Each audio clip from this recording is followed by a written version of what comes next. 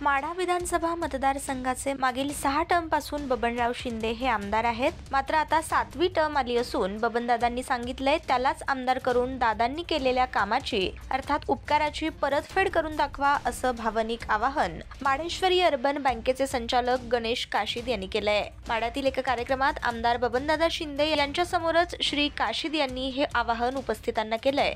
काशीत पुढे बोलताना म्हणाले की उठसूट कुणी बी उठतंय दौरे काढतंय गावोगावी जातंय आमदार व्हायचं म्हणतंय पण आमदार कुणाला करायचं हे जनतेच्या हातात आहे. दादांनी आतापर्यंत केलेल्या कामांची उतराई अर्थात उपकारांची परतफेड करून दाखवण्याची वेळ आली असून दादा म्हणतील त्याला आमदार करण्याचं आवाहन काशीद यांनी उपस्थित नागरिकांना केलं म्हणजे आहे शेवटची वेळ आलेली आहे. कुणी बी उठ त्या दौरा काढतंय गावगा भेटतंय आमदार व्हायचं म्हणतंय पण हे तुमच्या हातात आमदार कोणाला करायचं नाही फक्त दादाची एक दादा म्हणे त्याला आमदार करायचं तुमच्या हातात आहे. आणि शंभर टक्के तुम्ही सहकार्य दादाला कराल एवढी दादाची कामं केली.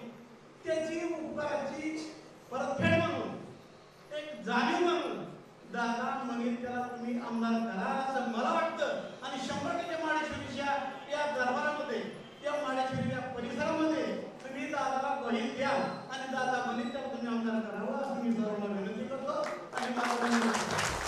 माढ्यातील डिजिटलवर रणजितसिंह शिंदेंचा फ्लेक्स आमदाराचा उल्लेख. आमदार बबनराव शिंदेंचे माढा शहरासह माढा मतदारसंघातील विविध भागात वाढदिवसाच्या शुभेच्छांचे फलक लावण्यात आले असून त्यावर जिल्हा दूध संघाचे चेअरमन रणजितसिंह शिंदेंचा फिक्स आमदार असा उल्लेख करण्यात आला आहे. त्यामुळं डिजिटलची चर्चा सर्वत्र होतीये. आमदार बबनराव शिंदेंच्या वाढदिवसानिमित्त वृत्तपत्रामध्ये शुभेच्छा जाहिराती देण्यात आल्या आहेत. मात्र या जाहिरातींवर उपमुख्यमंत्री अजित पवार यांच्यासह कोणत्याही राजकीय नेतेमंडळींचे फोटो वापरण्यात आलेले नव्हते. त्यामुळे हा देखील विषय चर्चेचा ठरला. ऑनलाईन रिपोर्टसाठी संदीप शिंदे माढा.